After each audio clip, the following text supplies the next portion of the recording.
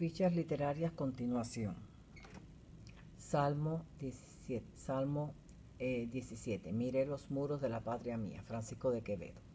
Siglo de oro. Eh, eh, crea un concepto más accesible al lector llamado conceptismo. Contexto histórico, las continuas guerras llevaban a España a una gran decadencia y pesimismo. La gran carga del imperio español ya estaba muy corrupta política y religiosamente. Además, el pesimismo ya se había generalizado en España. Los sonetos estudiados anteriormente celebran la juventud y la belleza y exhortan a la mujer a gozar de ellas antes que llegue la vejez. El Salmo 17 de Quevedo se concentra en la última etapa de la vida. Este poema tiene varias posibilidades de lectura personal o política. Puede ser una reflexión sobre el pesimismo de la vejez de la voz poética o un lamento sobre su ciudad y lo que lo rodea. El tema uh, Memento Mori. Soneto, 14 versos en decasílabos, dos cuartetos y dos tercetos, rima ABBA, ABBA, CDS, DCE. El poema es una degradación, pero a través de las estrofas. Primero habla del país, luego de su habitación y finalmente de su persona. Hay aliteración, se repite consonante M y P, C y Q con sonido K, hay hiperbato, hay metonimia, muro, báculo, espada, sol, todos se asocian con algo más amplio, la España de Castillo rodeada de muros, la imposición religiosa, el poder, el imperio, uso del tiempo verbal, tono pesimista, negativo, desolador, que se puede referir no solo a su muerte, sino también a la muerte del imperio. El burlador de Sevilla y convidado de piedra, Tirso de Molina. Del barroco, teatro. Eh, de Molina es un seudónimo que usó Fray Gabriel Telles. Contexto histórico, el teatro floreció durante el siglo de oro con escritores como Lope de Vega y Calderón de la Barca. Fue un teatro barroco, una nueva comedia nacional que tuvo mucha acogida. Lope de Vega es de la misma época de William Shakespeare, Galileo, Descartes, Cervantes y otros. Lope de Vega establece las pautas de la nueva comedia y Tirso de Molina fue su discípulo. La comedia de tres actos se divide en tres argumentos, planteamiento, desarrollo y desenlace. Mezcla lo trágico con lo cómico e introduce el personaje gracioso, la figura Donaire. Es un personaje ocurrente que en este caso funge como la conciencia de don Juan Tenorio. Don Juan es un libertino que cree en la justicia divina, pero también cree que hay tiempo para arrepentirse y ser perdonado por Dios. El hombre barroco ya vislumbra un lugar que va de mar en peor y se obsesiona con el carpe diem y la brevedad de la vida, así como el memento mori pensaban que vivir es ir muriendo cada día. Shakespeare decía que somos una representación teatral de la vida. El mundo es un escenario y nosotros somos los actores. Los temas son la religión y la moral, la hipocresía, la pasión, la venganza, el engaño, el desengaño, causa y efecto, las relaciones interpersonales, construcción del género. La obra pudo haber sido concebida como respuesta a la teoría de Juan Calvino que plantea que estamos determinados al nacer, es decir, que traemos un plan de vida que se cumple. Los católicos plantean que es a través del arrepentimiento, los protestantes plantean que es confesando a Cristo como Salvador, los orientales creen en la reencarnación y que reencarnamos tantas veces sean necesarias para evolucionar. Don Juan Tenorio burla a las mujeres con promesa de matrimonio, haciéndose pasar por los prometidos de ellas.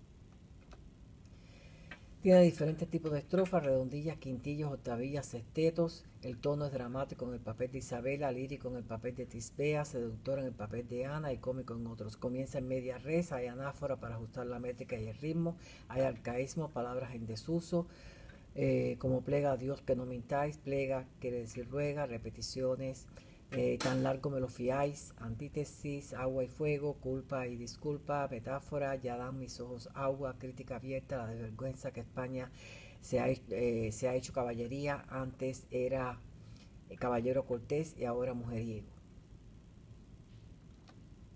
Hombres necios que acusáis, redondillas, eh, época del barroco, pero en Hispanoamérica, en la época colonial. Sor Juana Inés nace ilegítima y pobre en México, altamente jerarquizado, una mujer con una inteligencia extraordinaria y de gran belleza y con mucha voluntad de instruirse. Entra en el monasterio de San Jerónimo. En este poema la voz poética se dirige directamente a los hombres, por tanto es un apóstrofe. Todo el poema es un juego continuo de contraposiciones, ingrata, fácil, ofende, enfada, tais, lucrecia, Estructuras son redondillas, versos, octasílabos con rima consonante, A, B, B, A, utiliza hiperbato, juego de palabras, aliteración, entre otras propias, eh, propias del culteranismo. El mundo del diablo y la carne son metonimias que representan los tres enemigos del alma. Tema doble estándar al que los hombres sujetan a las mujeres colocándolas en una situación insostenible. El humor del poema tuvo éxito en una época en que la crítica en forma muy seria eh, hubiera ocasionado más problemas. Sor Juana fue una protofeminista ya que se adelantó a los tiempos al defender los derechos de la mujer.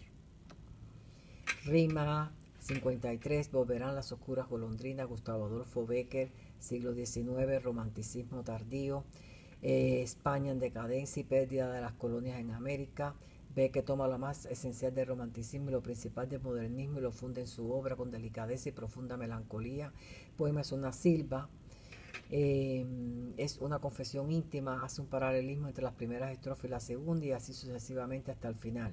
El poeta compara lo imperecedero y lo invariable, lo único constante es el amor del poeta, todo lo demás es fugaz. Nuestra América, José Martí, siglo XIX, acerca del autor cubano, precursor del modernismo, organizador de la guerra de independencia de Cuba, poeta y escritor, contexto histórico y a todos los países de América Latina eran independientes de España, menos Cuba. Estructura, el ensayo está compuesto de varias partes, una apertura, dos secciones sobre los elementos sociales y políticos de nuestra América una sección histórica. Martí se dirige a toda Hispanoamérica, también a Darío, eh, también Darío hizo lo mismo. Referencia del aldeano vanidoso es una imagen de un hispanoamericano, el gigante es el imperialismo, exhorta que cada país reconozca su historia y su identidad propia. Los setemecinos se refieren a aquellos hispanoamericanos que no tienen el valor de reconocer su origen con dignidad. Brazos de uñas pintados y pulseras se refiere a personas irresponsables que no producen. Según Martí, se debe enseñar la historia de América y el arte del gobierno en las escuelas. El pulpo denota la amenaza imperialista en, política económica, comercio y cultura. Los dos factores intercontinentales son Hispanoamérica y América del Norte. He andado muchos caminos, Antonio Machado, género poesía, épocas al siglo XIX y principios del siglo XX, generación 98, España pierde la guerra de independencia eh, de Cuba y había perdido ya las otras colonias. Las divisiones económicas es uno de los temas, la gente mala y buena, la crítica social, dos tipos de personas, el enigma de la existencia.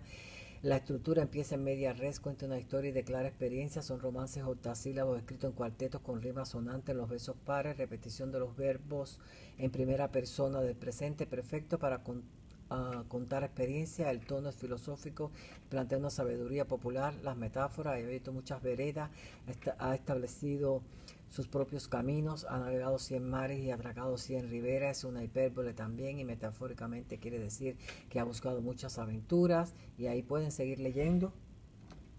Peso ancestral, Alfonsina Stormy, género poesía, siglo XX, modernismo hispanoamericano. Stormy es como una versión moderna de Sor Juana Inés y esto lo vemos en otros poemas, pero en este vemos una matización más compleja de la mujer al entender, comprender la actitud del hombre. Eh, se cree que la voz poética tenía una conversación íntima con su madre, pero otros sugieren que dicha conversación fue con un hombre que amaba. Cuenta el machismo forzado que sufrían los hombres y por lo cual no podían llorar. La lágrima que cayó en su boca era una concentración de todos los sentimientos reprimidos del hombre y por años todo esto guarda relación con las relaciones interpersonales y la construcción del género. Estructura, los versos largos son en decasílabos y los cortos son de cinco sílabas. Esto al final de cada estrofa para añadirle un valor. La metáfora hombre de acero significa hombre insensible, mi alma no puede soportar todo su peso, significa el dolor que siente la mujer, que a pesar de ser oprimida comprende, es como un dolor compartido con un tono sombrío y cierta ternura. Las medias rojas, Emilia Pardo Bazán, narrativa del siglo XIX, un cuento em, de la época del realismo, naturalismo y costumbrismo el tema realismo, las costumbres, la, construcción del género, las relaciones interpersonales. Una de las características del naturalismo es el determinismo, que defiende los hechos humanos, están determinados por las circunstancias sociales. El cuento tiene un narrador en tercera persona y es omnisciente, retrata los hechos y nos permite leer los pensamientos de Hildara y su padre, a quien le dice el tío Claudio, Hildara es bella y hace todos los trabajos de la casa y del campo. La escritora hace uso del cromatismo para describir a estos personajes. Las medias rojas tienen dos significados diferentes para cada uno de los personajes. Para Hildara es un signo de rebeldía y de querer aventurarse. Para el padre es un símbolo sexual, el gancho es un intermediario que ayuda en el tráfico humano. Luego de la paliza, Dara pierde su belleza y con ello toda posibilidad de viajar. El hijo de Horacio Quiroga es una prosa ficción cuento. Eh, el cuento comienza en media res, el padre y el hijo confían uno del otro y están unidos al ambiente natural en que viven. El padre es consciente de los peligros y desafíos y teme por ello, pero quiere eh, infundir confianza y no temor. El padre es viudo y trata a su hijo con mucha ternura. El narrador nos cuenta a través de los ojos del padre que el niño tiene 13 años y también nos ha dicho que el padre fue eh, sufre de alucinaciones. Aún así, la muerte de hijo y la alucinación final del padre es una intensa sorpresa para el lector. La naturaleza es una fuerza adversa que actúa en contra de ellos, que al vivir de la casa tienen que enfrentarse a ella. El tiempo y el espacio es muy lento, se dan las horas exactas, hay calor, la intensidad del sufrimiento del padre progresa, mientras que la naturaleza se detiene. Prendimiento de Antoñito el Camborio en el camino de Sevilla, Federico García Lorca. La época del siglo XX, vanguardismo español. La figura de Antoñito el Camborio es típica del gitano lorquiano que representa al hombre orgulloso, independiente y libre. La estructura empieza en media res, cuenta una historia, son versos octasílabos con rima sonante en los versos pares. En el poema se ven dos planos, el de la vida cotidiana, la detención de los gitanos, el del mundo primitivo, el señorito gitano. Los triconios es una metonimia de la Guardia Civil, las aceitunas se refiere a los gitanos en su tez trigueña. La metáfora de convertir el agua en oro es que, es que tiró todo, tantos limones que ya se veía más limones que agua, un acto que era placer para el gitano, pero no para los guardias civiles que lo vio como una violación cívica a robar fruta. La limonada puede significar que ahora la guardia disfrutaba del producto robado. La noche de, de Capricornio denota el principio del invierno, el signo Capricornio comienza a finales de diciembre. San Manuel Bueno Marte, Miguel de Unamuno, generación del 98. Eh, Unamuno vertió en esta obra sus propias preguntas existenciales. Don Manuel es un párrafo de Valverde de Lucerna, muy abnegado con la comunidad donde vive. Él se empeñaba en asegurarle la felicidad a todos los feligreses, pero no creía en la vida eterna. Duda de todo y no está convencido de nada. Solo Lázaro y Ángela conocen el secreto. Después de su muerte lo quieren beatificar por bueno o por muchos milagros que ocurrieron por la fe de los creyentes. El obispo hace una petición de documentar su vida y Ángela escribe todo lo que recuerda de él. Los nombres tienen significado. Eh, están también Blasillo, que lo consideran el bobo del pueblo, no tenía criterio propio. Eh, representa la fe ciega y sin cuestionamiento. La montaña podría representar la fe con, eh, Don Manuel con la en la cumbre y el lago donde se hunde la voz de Don Manuel. La leyenda del pueblo sumergido en el lago sugiere a Lázaro que quizás la verde de Lucena del pasado existe en el alma de Don, de Don Manuel. La novela es un manuscrito de Ángela preparado para la beatificación de Don Manuel. Balada de los dos abuelos, una poesía negra, eh, Guillén es cubano, nace en 1902, en el contexto histórico ya Em, eh, Cuba había sido independiente de España. Hay una mezcla de dos culturas, eh, ese es el tema, la asimilación, estructura versus libre, el poema se lee al ritmo de la literación, tiene un ritmo casi de canción, hay repeticiones y paralelismo, tiene una métrica irregular, la mayor parte de los versos son sílabos como los romances, hay otros versos de menos sílabas, el nieto de los dos abuelos, la voz poética, presenta su historia y las mezclas, yo los junto, gran parte del poema es una continua antítesis entre el abuelo blanco y el abuelo negro, en los dos últimos versos pone énfasis en la igualdad de los dos abuelos, el poema es al final una celebración, un canto.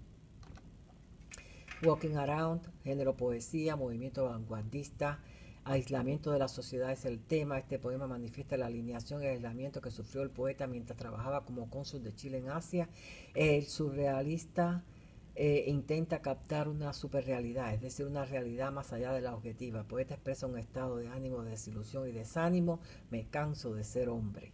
También la parte donde dice Em, que tiene imaginación de dar golpe de oreja a una monja, ir a la calle un cuchillo, con un cuchillo verde, es una forma de surrealismo que quizás representa la rebeldía contra las convenciones sociales.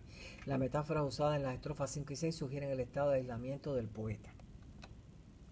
La Casa Bernarda Alma, género teatro, época principios siglo XX, generación del 27, vanguardismo, eh, las divisiones sociales, la opresión de la mujer, la honra, son los temas, Bernarda es una mujer autoritaria que no tiene piedad, tiene cinco hijas a quienes domina implacablemente. La orgullosa Bernarda desprecia a sus vecinos, pero también se deja dominar por el qué dirán. Muere su esposo y obliga a las hijas a vestir de negro bajo un ambiente de represión que termina trágicamente. Los, los nombres de las hijas tienen eh, significado. Todas estas están enamoradas de Pepe Romano, pero solo la mayor es la que se puede casar con él. Adela tiene relaciones con Pepe y al descubrir si cree que la madre mató a Pepe, se suicida y, la madre grita que ella murió virgen. María Josefa es la madre de Bernarda que está loca, pero es la única que dice cosas cuerdas.